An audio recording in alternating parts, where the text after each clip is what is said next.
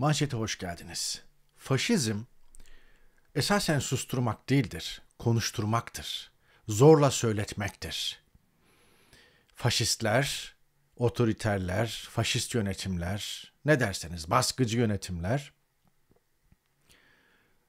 kapalı yönetimler, demir perde ülkeleri, ne derseniz kapalı ülkeler, kapalı rejimler, söyletme rejimleridir. Yani size ne, neyi söyleyeceğinizi dikte eder veya neyi söyleyeceğinizi tarif eder ve onu söylemenizi ister. Yani susmak da çözüm değildir. Sessiz kalmak da çözüm değildir. Onun için böyle yazdım. Daha iyi anlaşılsın diye de anlatıyorum. Çünkü 3-4 kelimeyle anlatılacak bir şey değil. Faşizm zorla konuşturma, söyletme rejimidir. O idare neyi istiyorsa, neyi murad ediyorsa, neyi amaçlamışsa, neyi söyletmek istiyorsa. Ben oynamıyorum, ben karışmıyorum, ben kendi köşemdeyim. Ben kendi fikrimi de söylemeyeceğim, sizin fikrinizi de söylemeyeceğim. Ben kenarda duracağım.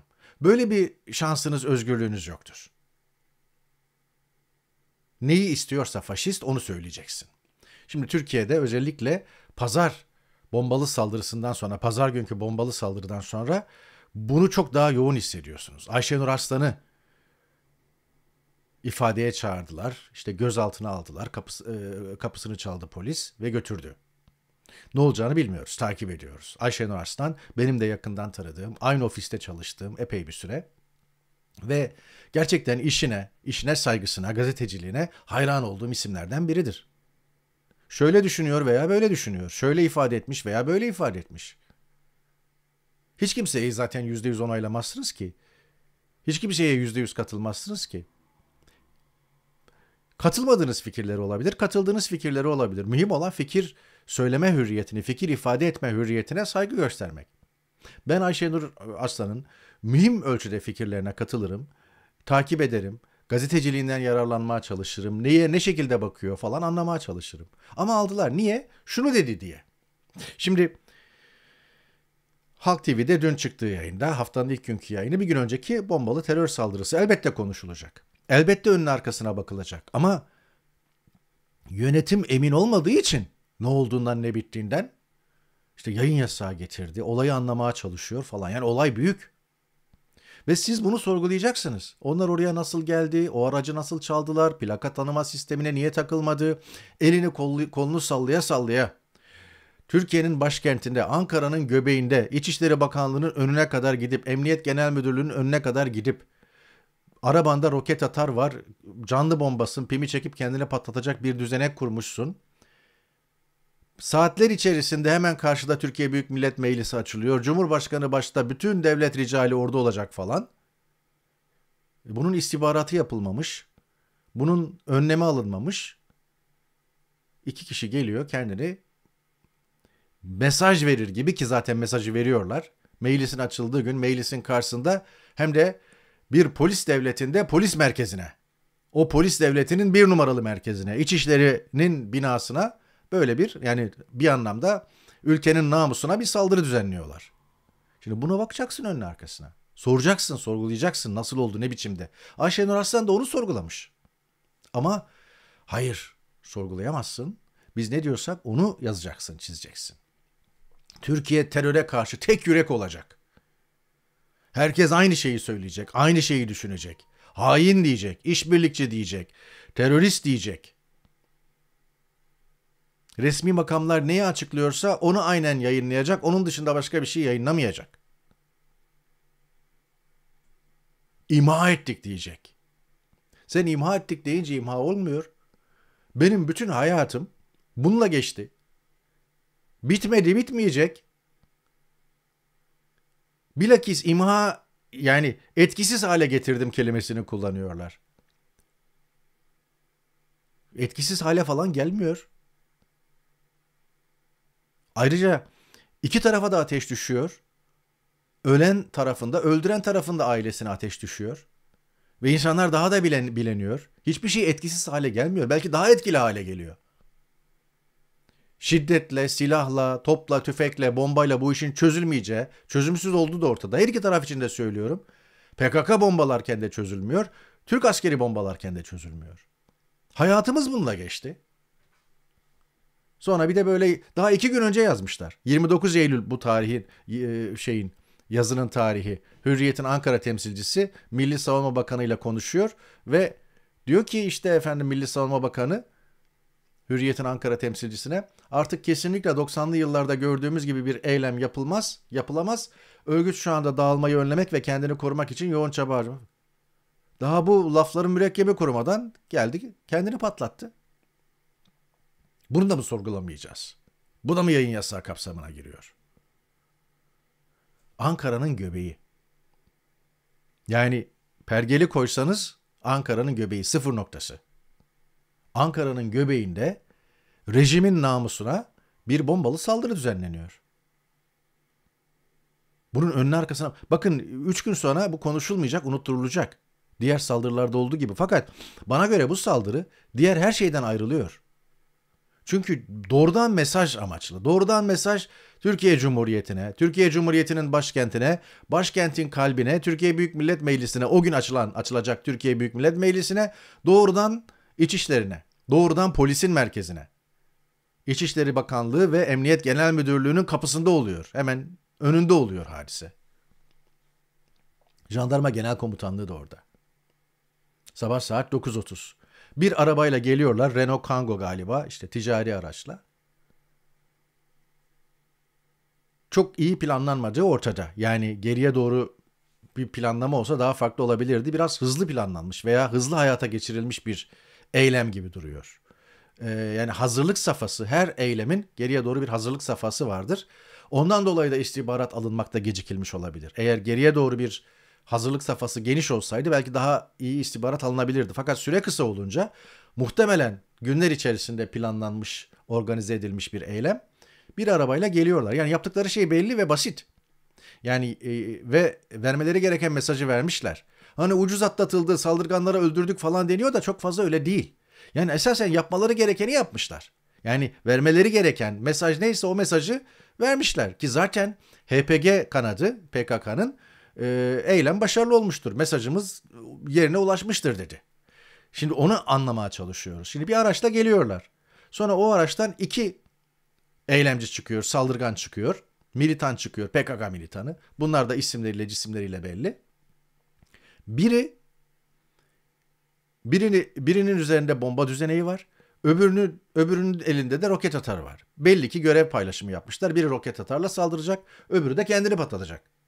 Yani orada çok fazla kaç kişiye, kaç kişiyi acaba öldürebilirler veya ancak nöbetçi kulübesi, kulübesi veya karşılarına çıkan birkaç kişi veya birkaç polis. Bunun da farkındalar. İçeri giremeyeceklerini biliyorlar ama karşılarına çıkan birkaç kişiyi belki öldürebilirler. Neyse. Şey bu. Sonra zaten bir kişi zırhlı nöbet kulübesine roketli saldırıda bulunuyor. Araçtan inen diğer kişi de e, nizamiye girişinde bulunan e, personele ateş açıyor falan. Yani e, nöbet kulübelerini ve nizamiye girişini hedef alıyorlar. Belli ki orada bir zayiat veya hasar verme veya orada birilerini öldür, öldürme şeyindeler, amacındalar yani. Sonra zaten roketle saldıran terörist, terörist koşarak yerleşke içine giriyor. İki polis memuru orada vurularak e, iki, iki polis memuru onu vurarak öldürüyor. Uzun mamlulu tüfekle saldırı düzenleyen terörist ise Atatürk Bulvarı Nizamiye girişinde patlayıcı ateşliyor. Yani eylem bu kadar. Daha ötesi yok. Daha ötesini planlama şansı da yok. Çünkü zaten oraya kadar o şekilde gelmişler. Daha fazla ilerleyemezler. Bunu aklı başında olan herkes bilir. Yani elini kolunu sallayarak İçişleri Bakanlığı'na girecek de binayı mı havaya uçacak? Ya böyle bir niyeti yok zaten.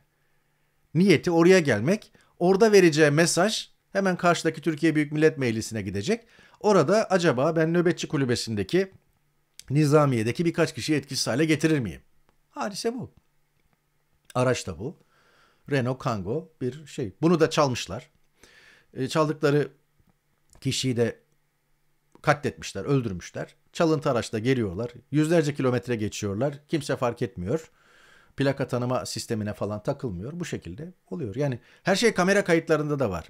Esasen bunları vermekte falan. Bunları veren ve bunların üzerine analiz yapan insanlar da bir anlamda hışma uğradı. Yani anlamaya çalışıyoruz olayı, anlatmaya çalışıyoruz. Kullandığım laflarda, kelimelerde veya olayın oluş biçimine dair falan bir şeyi tanımlarken zaten son derece dikkatli bir dil kullanıyorum ve herhangi bir mahsur var mı? Herhangi bir sıkıntı var mı? Anlamaya çalışıyoruz olayı. Aldığımız bilgiler ışığında. İşte bu da işte roket atar yere düşen e, ateş almamış veya çalışmamış e, her neyse çok iyi planlanmadığı, üzerinde çalışılmadığı veya e, tatbikatının yapılmadığı anlaşılıyor. Biraz hızlı planlanmış bir eylem öyle görülüyor. Evet. Bu da Sabah gazetesinin yayınladığı fotoğraf. Plaka sistemine takılan görüntüler. İşte burada aracın içerisinde filan görülüyorlar. 38 TP 952 plaka. Yani bu bu plaka e, plaka sistemine görüntü takılmış ama e, takipte yok. Yani çalıntı araç olarak bildirilse bu araç hemen e, tespit edilecek ve anında çevrilecek. Belki orada başka bir hadise olacak. Ama işte araca binmişler, çalıntı araçla yüzlerce kilometre geçip Kayseri'den Ankara'ya gelmişler ve eylemi gerçekleştirmişler. Burada şey var yani sabahın bu fotoğrafıyla da sabah gazetesinin bu fotoğrafı basmasıyla da bir anlamda bir sorumluluk da e, ortaya konmuş oluyor. Yani bunlar nasıl geldiler, gelebildiler? Zaten şu anda devletteki genel kafa karışıklığının nedeni de bu. Ayşenur Aslan'ı alıyorlar, susturuyorlar. Biz ne dersek o falan filan. Tam böyle bir iki üç gündür tam faşizm yani. Kontrolleri dışında bir şey dönüyor. Ne zaman kontrolleri dışında bir şey döndüğünde benzer refleksi gösteriyorlar. Ayşenur Aslan'ın alınması da bundan. Yani bak onun başına geleni görüyorsunuz. 70 yaşını geçmiş duayen bir gazeteci. Bak nasıl aldık evinden getirdik. Sizi de aynı akıbet bekliyor. Ona göre. Ayağınızı denk alın. Gözaltısı. Maalesef. Biz ne dersek o. Faşizm, söyletme sanatı. Sessiz kalarak da kurtaramıyorsun. Çıkacaksın, onların dilinden küfür edeceksin. Karabağ'dan son otobüs kalkmış. 120 bine yakın bir Ermeni nüfusu olduğu belirtiliyordu Dağlık Karabağ'da Azerbaycan operasyonuyla. Azerbaycan da terörle mücadele operasyonu başlattı orada düşün. Nasıl bir terörle mücadele operasyonuysa 120 bin tırnak içinde söylüyorum Ermeni terörist otobüslere binip gittiler. İşte veremedi Türkiye basını. Niye? Korkusundan. Niye? Aman hışma uğrarız diye. Niye? Resmi söylem veya işte Ankara, saray üzeriz diye. Rütü'yü üzeriz diye. Fahrettin'i üzeriz diye. Veremediler. Bir haftadır on gündür orada bir göç dramı yaşanıyor. Oradan yani insan manzarası bile veremediler. Hani resmi söylemi kullan ama gene haberi ver. Onu bile yapamadılar. Yasaktı çünkü. İzin verilmedi. Böyle iç sayfalarda bir yerde Karabağ'dan son otobüs diye Ermeniler bölgeyi boşalttı diye anca haber verdiler iki hafta sonra. Bakın İngiltere'den bir örnek vereceğim. Kral Charles Edinburgh'a gitti. Türkçe'de Edinburgh diye okunuyor galiba. Burada Edinburgh diye okunuyor. Ben orijinal okunuşuyla söyleyeceğim. Edinburgh'a gitti ve Edinburgh'da e, işte ne bileyim İskoçlar e, krallarını karşıladılar. İşte ne bileyim şey oldu. E, seremoni oldu, tören oldu neyse. Fakat bir grupta sen beni sen bizim kralımız değilsin diye pankart açtılar ve eylem yaptılar. Ve onlar da orada durdular. Yani not my king. Çok İngilizcenizin olmasına da gerek yok. Benim kralım değilsin diyor. Seni tanımıyorum diyor. Fakat bu grup bu pankartları yaptırmış. Güzelce bastırmış. Ellerinde işte döviz olarak taşıyor. Pankart diyorum. Döviz galiba. Döviz olarak taşıyor. Oraya gelmiş. Pankartları kaldırmış. Kral birazdan oradan geçecek. Polis de orada. Yani pankartı yaptırmak, e, dövizi yaptırmak, taşımak, göstermek, kralın geçeceği yolda beklemek ve başına bir şey gelmeden durmak ve kralın da bunu görmesi.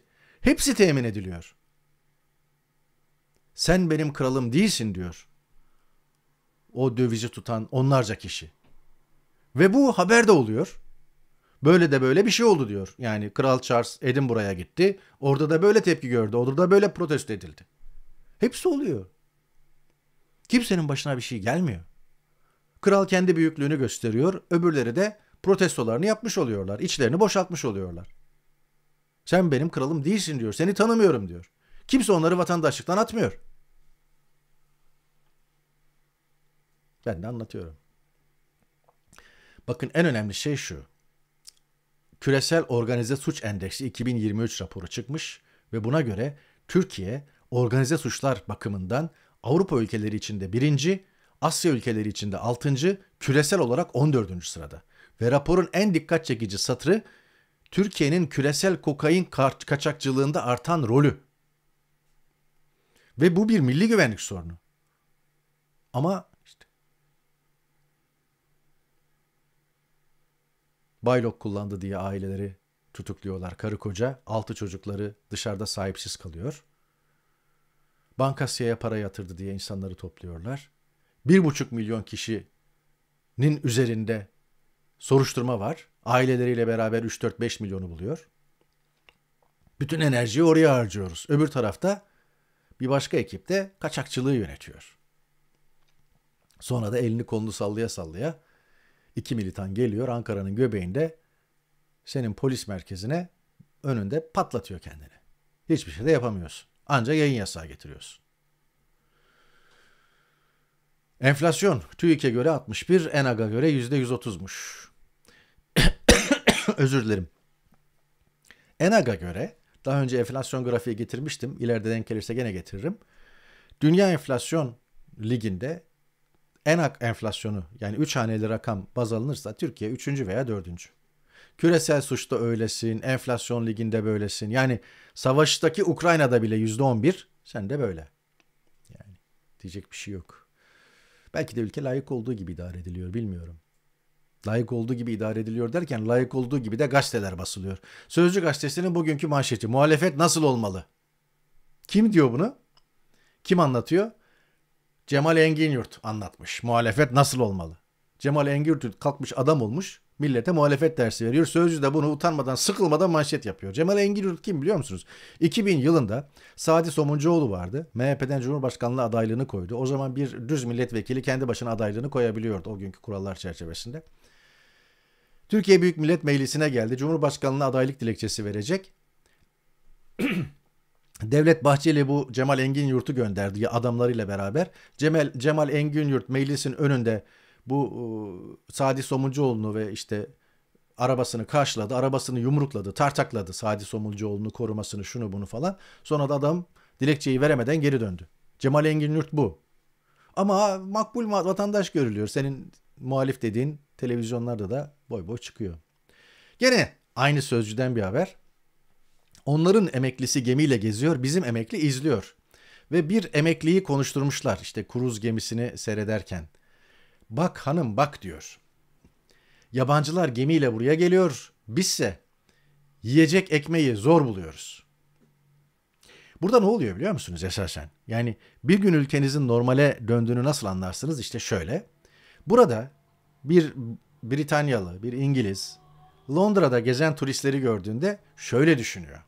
Ya da işte eşiyle beraber dolaşan bir yaşlı İngiliz. Şöyle düşünüyor. Kafa sesi oluyorum. O İngiliz'in kafa sesi oluyorum. Bak hanım bak.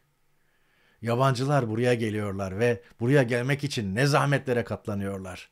Pasaport çıkartıyor, vize alıyor, bilmem ne kadar otel parası ve burayı görmek için geliyor. Bize de bir sürü döviz bırakıyor. Sterlin bırakıyor, İngiliz poundu bırakıyor. Ekonomimize katkı. Ama o kadar şanslıyız ki milletin pasaport alıp, vize alıp bilmem ne kadar para harcayıp geldiği ancak bir hafta dolaşabildiği Londra'da biz yaşıyoruz. Burası bizim şehrimiz, bizim hayatımız. Millet parasıyla görmeye geliyor, biz burada yaşıyoruz. Hem paralarını, dövizlerini buraya bırakıyorlar. O açıdan kazanıyoruz. Hem de biz burada yaşadığımız için çok şanslıyız. Bak elin oğlu parayla geliyor burayı görmeye. Buradaki insanlar böyle düşünüyor. Yarın senin insanın da benzer şekilde düşünmeye başlarsa işte o zaman ülkende bir şeyler yoluna girmeye başlamıştır. Vurdukça büyütüyorlar Trump'ı. En son işte mahkemeye çıktı böyle görüntülendi. Gerçekten de öyle. Yani hakkındaki suçlamalar, son suçlamalar okuyun. Çok son derece ciddi. Yani e, tamamen bir şey var. Dolandırıcılık var. E, ve e, emlak sektöründe e, büyüme, açıklanamayan büyüme var. E, çok çocuklarıyla beraber, ailesiyle beraber çok sayıda hatalı işlem var. Vergi kaçırma var, şu var, bu var. Fakat hiçbirisi Trump'a negatif yazmıyor. Şu anda yapılan bütün kamuoyu araştırmalarında Cumhuriyetçiler veya Amerikan halkının büyük bir bölümü onu başkan olarak görmek istediklerini söylüyorlar. Ve bu suçlamalar ona yöneltildikçe o oyunu artırıyor. Yani herhalde bu önümüzdeki bir yıl boyunca hiç kampanya yapmayacak mahkemeden verdiği görüntülerle kampanyasını götürecek. Yani kampanya alanı olarak mahkemeleri seçecek. Herhalde öyle görülüyor. O arada Ukrayna 5 milyar euroluk e, Avrupa Birliği yardımını e, koparmış. Ukrayna Başkanı Zelenski açıklamış bunu. Dışişleri Bakanlarıyla toplantıda bakalım iş nereye gidiyor ama Ukrayna savaşı da uzadıkça uzuyor. Onu da belirtelim. Hiç iyi haber yok mu var? Maria Callas'ın hayatı beyaz perdeye taşınıyormuş. Peki burada iyi haber nerede? İyi haber şurada. Angelina Jolie ile beraber Haluk Bilginer de projede. Angelina Jolie Maria Callas oynayacak. Ee, Haluk Bilginer ise Aristotle Onassis Kalas'la olaylı evliliğin, e, olaylı bir evlilik yapan 1950-60'lı yıllardan bahsediyorum. E, Yunan armatörü oynayacak. Haluk Bilginer, daha önce yazdım, çizdim birkaç kere söyledim. Türkiye'de gelmiş geçmiş tek dünya starıdır. Türkiye'nin yetiştirdiği tek dünya starıdır. Daha önce yoktu. Şu anda yok. İleride de yakın zamana yani yakın gelecekte olacağı benzemiyor. Tek dünya starıdır. Geriye doğru çevirdiği filmlere, oynadığı dizilere, dünyada dünyada çıkan e, dünya starlarıyla e, paylaştığı rollere falan baktığınızda bunu görürsünüz. E, meraklısı olan araştırsın. Bana göre e, geçmişten bugüne ve yakın gelecekte de tek dünya starımız, Türkiye'nin tek dünya starı Haluk Bilginer'dir. Diyor ve bugünkü e, manşeti de böylelikle bağlıyorum. Çarşamba tatiliz. Perşembe günü yeni bir yayında tekrar görüşmek umuduyla. Hoşçakalın.